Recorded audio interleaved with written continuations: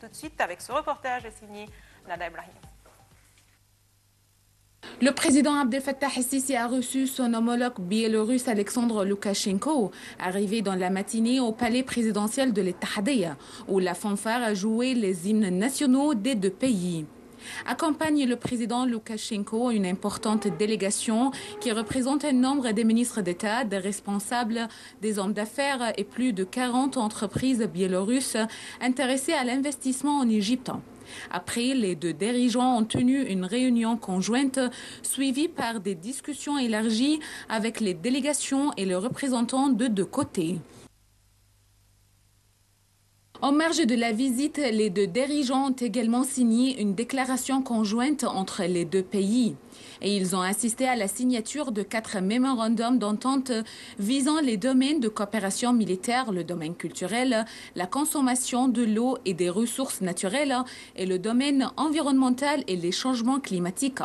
Mais aussi quatre protocoles d'accord qui portent sur l'agriculture et la bonification des terres, le domaine juridique, le domaine sportif et l'extradition des criminels, ainsi qu'un programme de coopération 2017-2018 qui vise à mettre en œuvre l'accord signé entre le gouvernorat du sud de Sinaï et le gouvernorat de Minsk.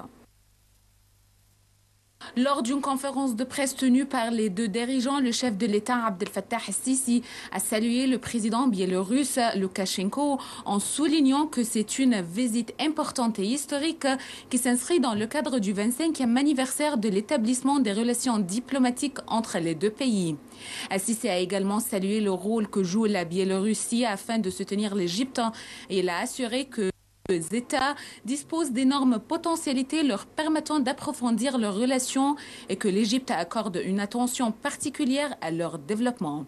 De sa part, le président Assisi a mis l'accent sur la nécessité d'établir une zone du libre-échange afin de faciliter l'échange commercial avec l'Union eurasienne.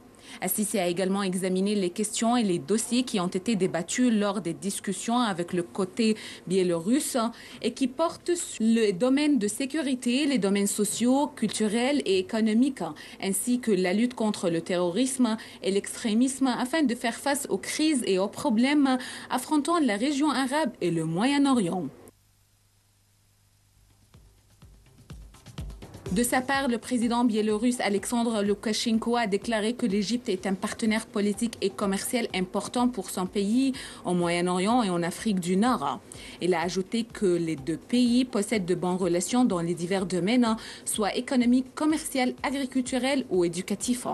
Loukachenko a également souligné que son pays soutient l'Égypte sur le niveau régional et international. Il a invité le président ainsi à visiter la Biélorussie dans la période à venir afin d'échanger des expertises dans tous les domaines. Une visite importante qui s'inscrit dans le cadre du 25e anniversaire de l'établissement des relations diplomatiques entre l'Égypte et la Biélorussie. Lors de cette visite, les deux chefs d'État ont mis l'accent sur un nombre de dossiers importants, mais aussi ils ont insisté à la signature d'un nombre de protocoles d'accord qui donnent un nouvel élan au développement des relations des deux pays. Nada Ibrahim pour Nil International. Voilà, c'est la fin de notre journal.